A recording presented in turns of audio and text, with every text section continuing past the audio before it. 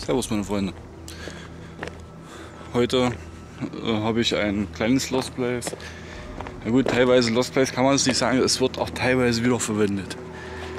So, aber erstes Mal, Entschuldigung, dass ich jetzt die letzten Tage erstmal oder letzten Wochen keine Videos hochgeladen habe. Ich hatte einfach keine Zeit dafür gehabt, weil ich mich um meine Tochter kümmern musste. Ich war krank gewesen. Also, da ging mir die ganze Zeit alles flöten. Und äh, wenn ich euch die Videos hochlade, sind die immer sehr aktuell.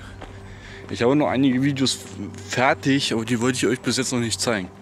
Weil ich mir sage, das, das lohnt sich noch nicht. Beziehungsweise, wie gesagt, auch die sogenannten Reviews möchte ich erstmal nicht machen, sondern erstmal was anderes. Also die Lost Places. So, und heute haben wir halt hier dieses Lost Place, sogenanntes Lost Place. Es wird ja noch teilweise verwendet. Und zwar handelt es sich hier um ein Heerestanklager. Das habe ich aus äh, Informationen bekommen. Und bei diesem Heerestanklager soll auch wohl angeblich ein geheimer Bunker sein. Was ist das? Auf ist hier auf jeden Fall was gewesen.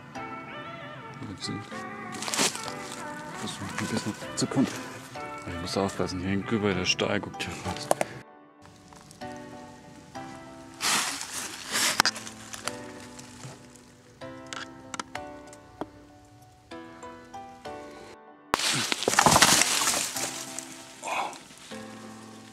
Fast vom Ast zerschlagen. Ey. Kamera gerade um.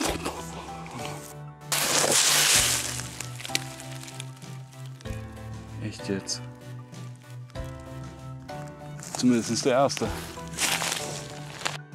Hier habe ich noch was Gusseisernes gefunden. Ich bin jetzt hier schon ein Stück in den Wald reingelaufen. Weil angeblich wirklich nicht mehr viel da sein soll. Ich habe bis hier gerade mitten im Wald eine gerade Betonkante. Ich weiß nicht, ob man es sehen kann.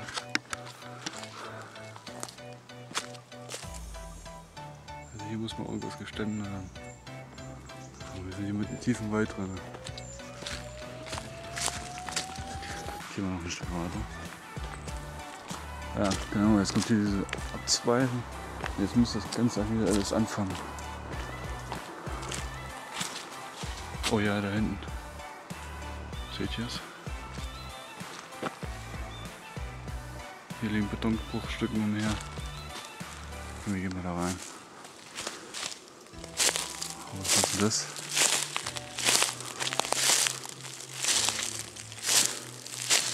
Was das ist, Kanalisation. Hm. Keine Ahnung. Oh, das ist jetzt noch nicht so interessant. Gleich mal ein Stück weiter.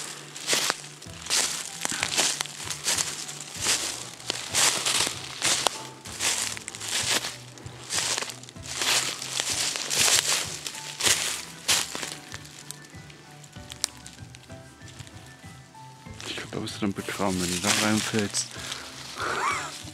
und die Dinger sich bewegen.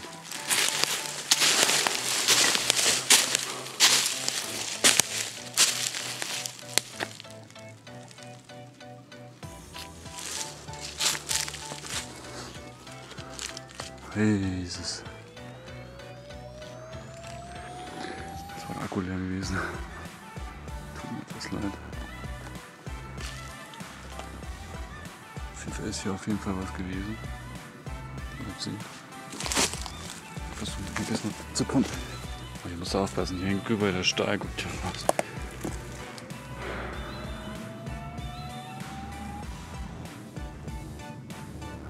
Ich würde sagen, wir gehen nach außen. Hier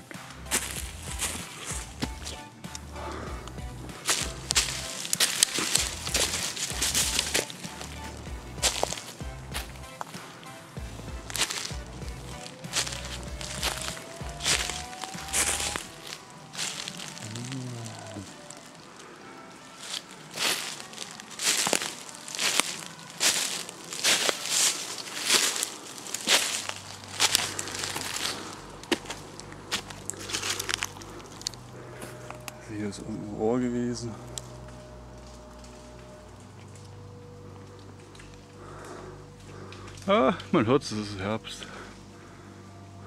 Blätter fallen auf den Boden. Man denkt immer gleich, irgendwelche Tiere laufen hier lang. Oh, klasse Bild. Echt klasse das Bild. Ich weiß nicht, ob ihr das richtig erkennen könnt.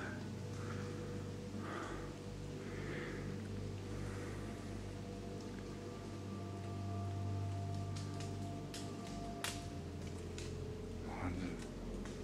Da geht geht's irgendwo noch tiefer da. Würde das mal interessieren. Kommt man hier am blödesten rein?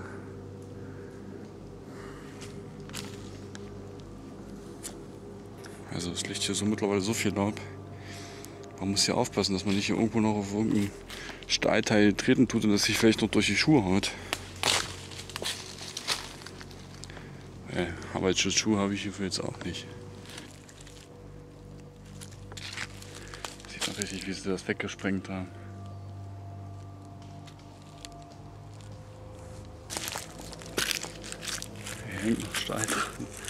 Alte Rohrleitung. Stahlträger. Das haben sie alles demontiert damals. Aber was mich so, was ich mich so frage, warum sieht denn das da aus, als ob da so ein Fass liegt? Das gucken wir uns jetzt mal genauer an. Wir müssen unbedingt da runter. Hm. Das ist ganz komisch. Ich verstehe das gerade gar nicht. Ehrlich gesagt, Leute.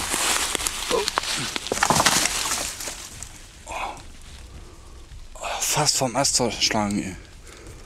Kamera gerade um. Ja, was ich absolut nicht gerade nicht verstehe.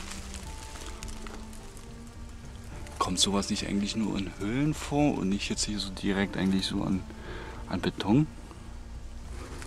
Muss hier noch Stalakiten. Da schnell mal raus reingucken. Seht ihr es?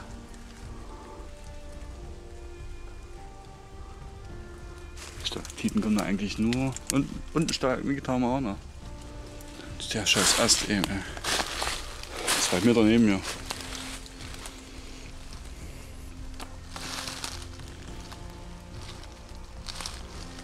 Man kann es leider nicht rekonstruieren, was hier für was hier damals war. Aber ich gehe jetzt hier mal ein Stück runter. Und heute immer zu dem Tank.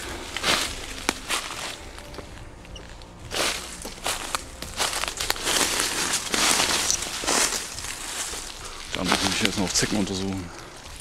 Und ganz ehrlich, das glaubt mir kein Schwein. Ich habe hier 15 Kilometer weiter entfernt früher gewohnt, seit über 20 Jahren. Und ich wusste nicht, dass hier sowas ist. Gut, mir hat es wahrscheinlich auch schon mal erzählt. Aber selbst wo ich jetzt hier in die, in die Nähe gezogen bin, wirklich auf einen, auf einen Kilometer Nähe dran, ich habe es erst, erst kurz vorher erfahren. Vor zwei Tagen oder so.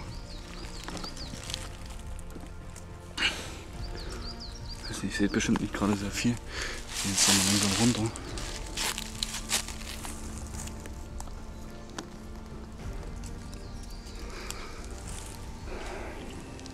Muss man ja wirklich aufpassen, wo man hinläuft.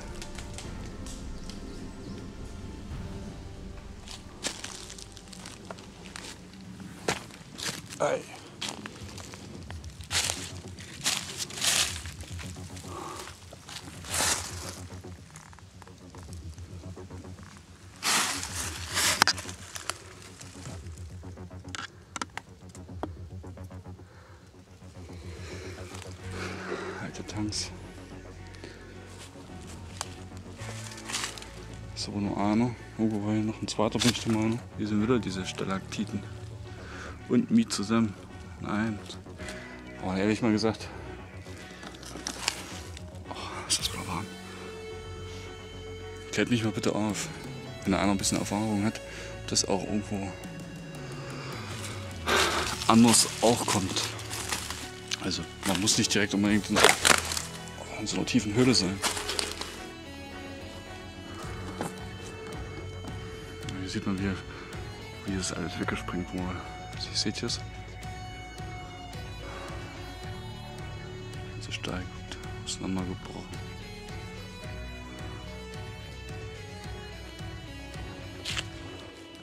Ja, wir gehen jetzt erstmal weiter.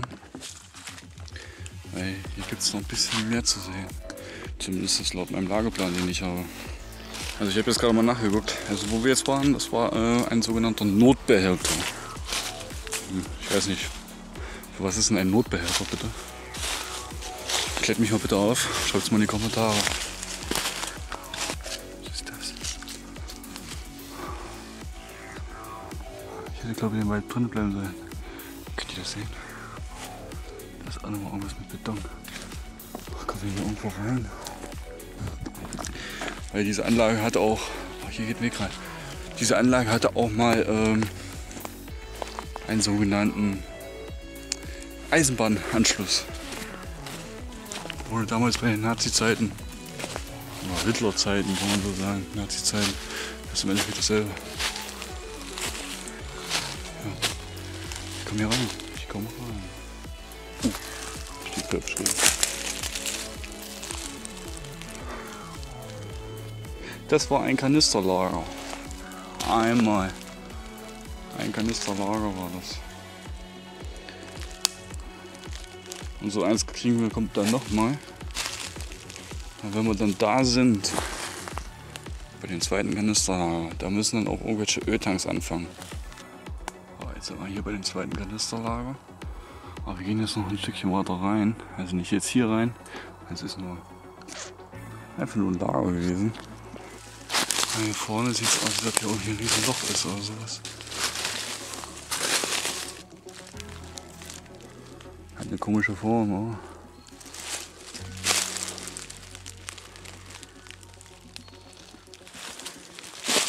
Ich glaube, wir könnten ein bisschen was erkennen hier. Da ist ein Loch. Hat er das ein Loch?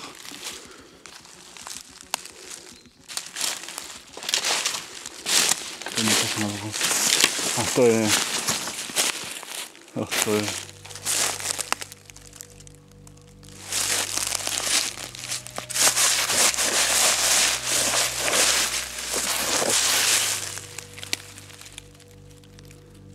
Jetzt?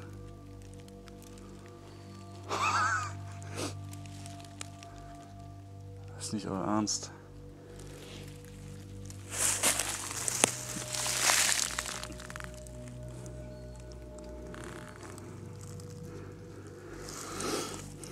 sieht so aus, als ob sie die Dinger aufgeschraubt haben und haben sie verfüllt. Zumindest der erste. Ja, scheinbar haben wir jetzt den zweiten schon gefunden. Seht ihr das? Oh, da ist auch ein Loch drin. Wir haben hier ein Loch. Aber wie ihr sehen könnt, ist das auch schon mal verfüllt. Nummer 3 ist auch okay. Ich habe ja erwähnt, ne, für teilweise wird ja dieses Gelände hier noch genutzt von der DAW. Hier hat man gerade irgendwo einen Helikopter im. Aber ich wusste gar nicht, dass ein DAW extra äh, Landeplatz dran hat. Das kann ich mir gar nicht vorstellen. Hier sind überall Fahrspuren drin, die man so ein bisschen erkennen kann.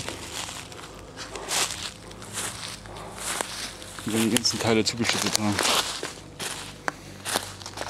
Ja, aber 600 Kubikmeter, das ist auch schon eine Hausnummer um da alles zu verfüllen. Und das auf zwölf Mal. Wir sind bei vier.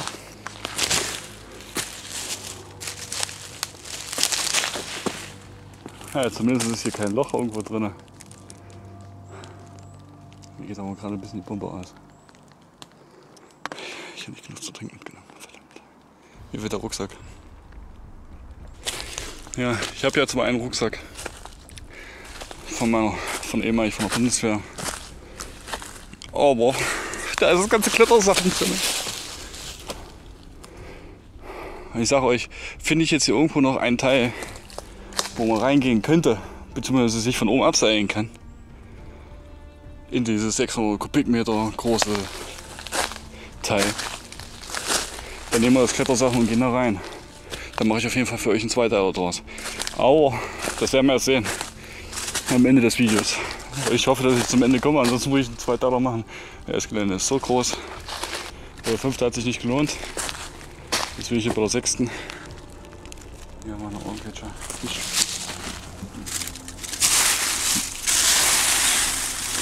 ist auf jeden Fall Unwetter. Leitung mal lang gegangen. 6 lohnt sich eigentlich im Endeffekt auch nicht. Da ist aber irgendwo, da ist zumindest noch mal ein Loch. Und das Loch sagt mir, es ist zu.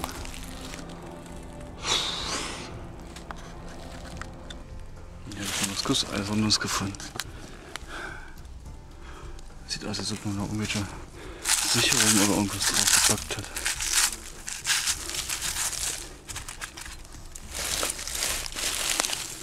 Hier irgendwie eine Ahnung hat, was das sein hätte können. Ich versuche es euch mal ein bisschen zu zeigen. Aber ich tropfe wie ein Schwein, ey. Schreibt mir in die Kommentare, was ihr wisst, was das ist. Leute. Seit wann gehören hier Traktorreifen rein? Ich muss mir mal im Internet recherchieren, wie so Dinger ausgesehen haben. Ob die jetzt nur nach oben gestanden haben oder ob die einfach nur nach unten verfüllt wurden. Ich weiß es nicht. Ich, wenn ihr wisst, wie so, so, so ein Tanklager oder irgendwas ausgesehen hat, schreibt es mal bitte in die Kommentare oder gebt mir mal einen Link oder sowas oder schreibt mich persönlich an. Schreibt mir per E-Mail oder sonst irgendwas. Ich würde das gerne mal wissen, ob die jetzt so hochgebaut wurden. Weil es ist für mich schlussfolgerig eigentlich, ich verstehe das nicht, warum da diese, diese riesen Betonwand da reingesetzt wurde. Naja, es lohnt sich nicht wirklich. Ist auch wieder so ein Teil, da kennt man nicht mehr viel. Aber ich weiß nicht, ob das was schon im Hintergrund gesehen habt. Hier ist wie so ein, so ein Terwege-Testgeländer. Ich will jetzt gar nicht so dicht da dran gehen. Ich will gar nicht die aufmerksam machen. Aber ich habe hier drüben noch was anderes gefunden. Ja, das Video ist mittlerweile schon über 16 Minuten lang und äh, das Gelände war auch sehr groß gewesen. Und ich würde sagen, wir machen einfach nochmal einen Zweiteiler draus. Einen kleinen Vorspann zeige ich euch jetzt noch. Und äh, ansonsten wünsche ich euch jetzt ein schönes Wochenende. Also ein Restwochenende und einen schönen Sonntag. Ja, einen schönen Sonntag einfach. Bis demnächst. Ich weiß nicht, seht ihr es? Ein bisschen. Kinderbild. Erholungsheim für Kinder gewesen sein. Ah, dicke Spinne. Wenn man sieht, wie tief das geht, ne? Sieht aus wie ein Tank, ne?